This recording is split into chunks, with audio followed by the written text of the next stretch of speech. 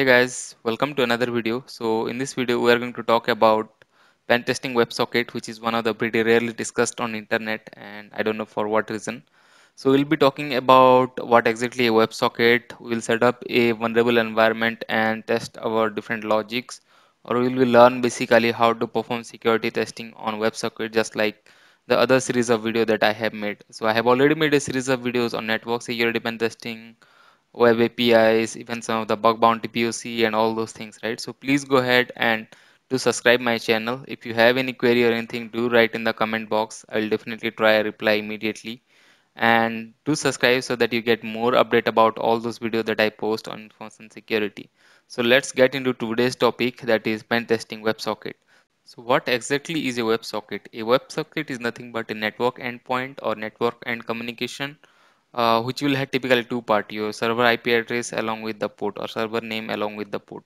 Now traditionally in HTTP or HTTPS communication you will have a client and server where a client initiate a request and send it to server and server respond it back uh, with the whatever response. Now they have eliminated all those things because server cannot talk to its own or to a client uh, by its own.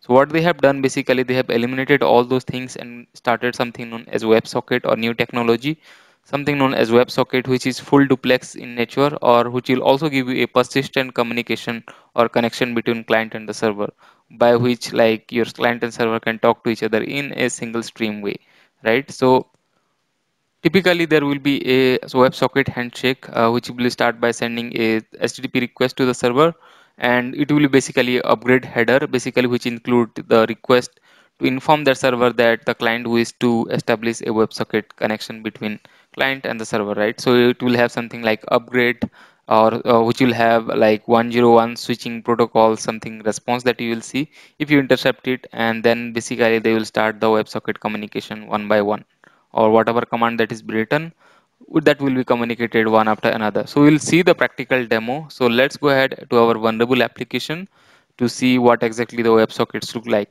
so I have taken this OWASP DEM uh, vulnerable WebSockets, which is one of the really, really nice uh, vulnerable application which has been created.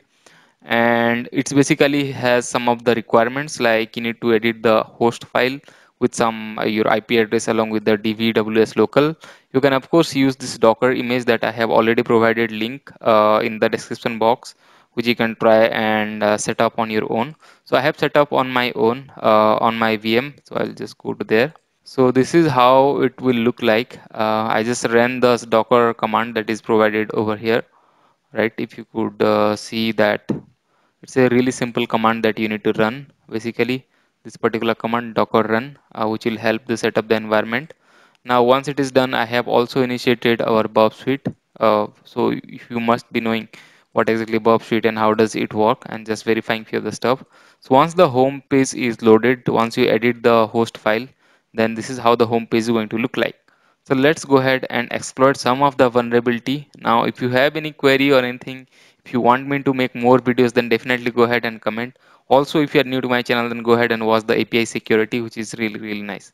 Now let's go ahead and start with one of the attack. Uh, of course uh, if you want me to go ahead with a brute force i can do brute force sure i just want to um, uh, say like i want to try some of the attack which probably nobody dis disclose or shows.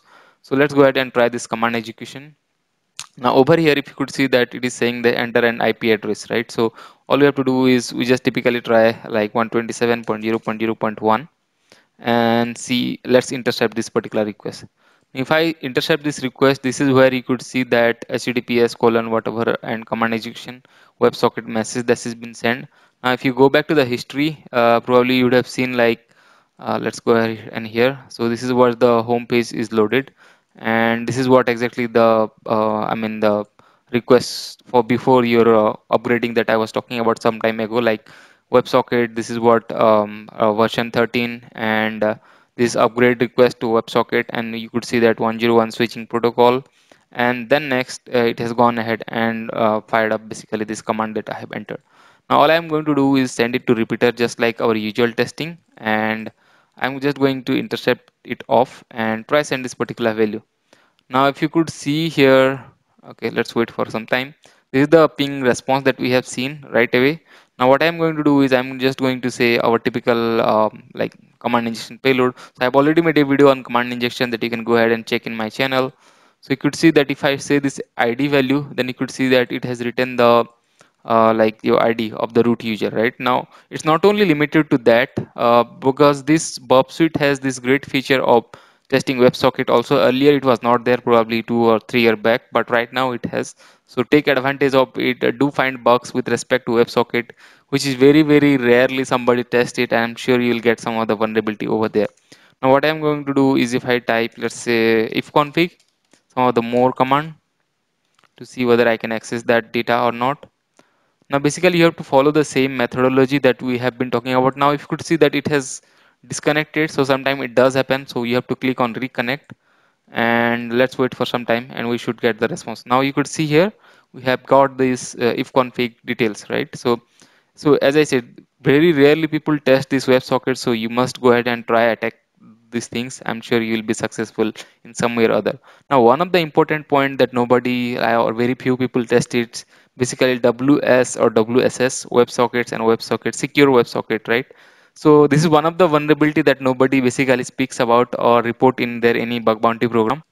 So what you have to do is basically if you see some of the communication that is done over a different port or let's say 900, 800 or something different port and if you could see that whether it is in WS or WSS based on that if they are using WS which means they are vulnerable because it can be like captured by anybody else in between or perform in the middle attack.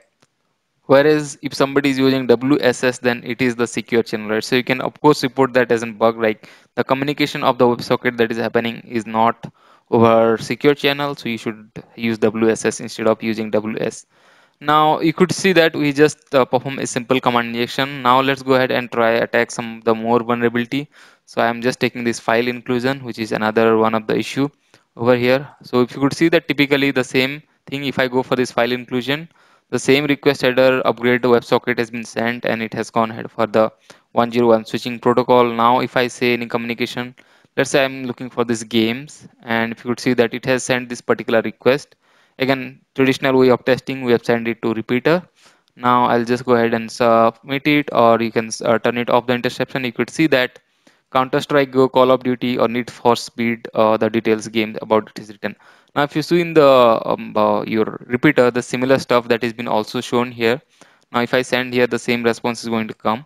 Now, what I am going to do is since it is retrieving a file, a text file basically, it, it has some of the file reading from the server, right? So let's go ahead and try some of the part traverser character.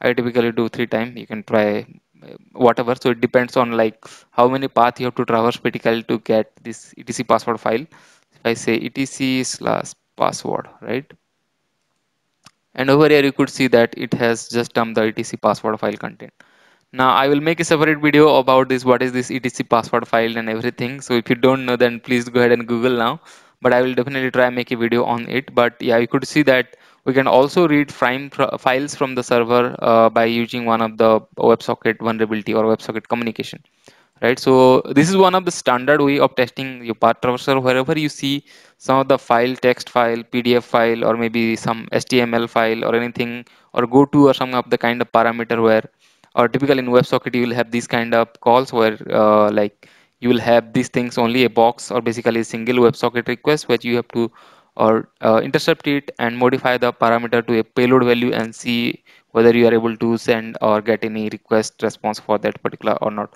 So over here we have modified to etc password file using the dot dot slash or traversing character and we can read the file from the server basically right. So I will put some of the payloads link over in the uh, description box also so that you can go ahead and try some of this payload now some of the more attack let's go ahead and try this xss vulnerability. So over here you could see that if i try for uh, enter your name and if i send something known as test it says hello test how are you? Now instead of test let's go ahead and try some of the xss payload kind of thing.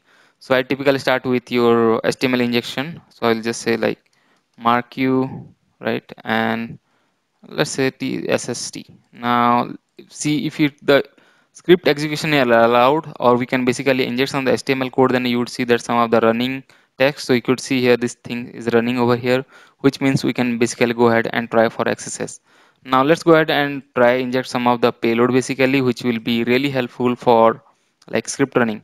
So all i'm going to do is like send the same value and instead of this value. I'm just using some of the common xss payload.